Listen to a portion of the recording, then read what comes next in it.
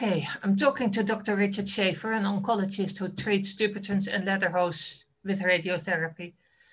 Richard, can you tell me what does radiotherapy do to the nodules in our hands and feet? What happens to them? Yeah, thanks, Anna. So, you know, the response to radiotherapy is a very slow response. So, you know, if you have your week of treatment, three month gap, and a week of treatment, you know, some people do get some response by the second week of treatment, in other words, after three months. But I have to say, most people don't really give much, get much of a response till on average about three months after the second lot of treatment. So the time between starting your initial treatment and getting you know, a response on average, I would say is roughly six months.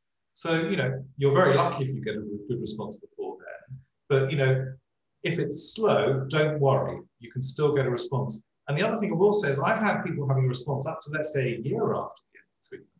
So this is a very, very slow thing. It's not like taking a paracetamol and your headache, that sort of thing. The response is very variable. You know, generally, particularly in Dupuytren's disease on the hands, we're really looking to stabilize things. So from my point of view, if patients say, you know, there was no change, I would say that's fantastic. That's exactly what we were hoping for. You know, if we can delay this getting worse, then that's a good thing.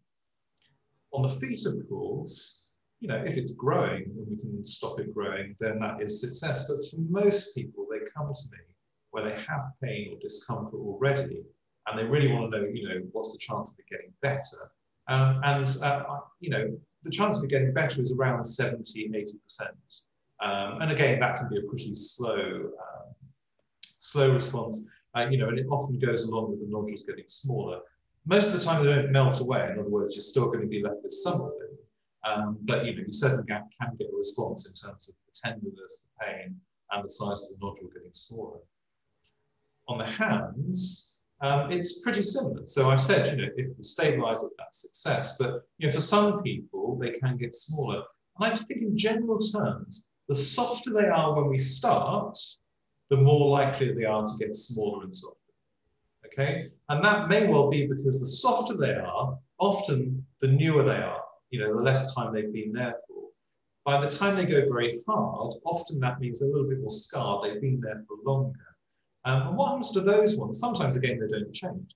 But sometimes what happens is, although we might be successful in stopping them growing, they may well get harder.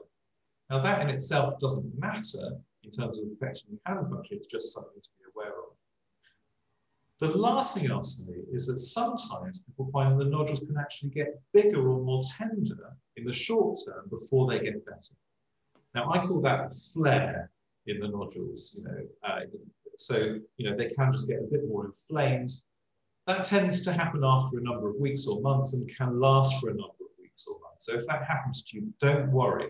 You know, all is not lost and it may well get better. Of course, there is a chance that it may be your nodule just hasn't responded to radiotherapy. But I have to say, most people find you know, if it gets a bit more tender, gets a little bit bigger, you just take some paracetamol or something to get yourself through that. Wear soft shoes, you know, just be a bit more careful and then you come out the other side and you may well have a good response at the end. That certainly happens to most people.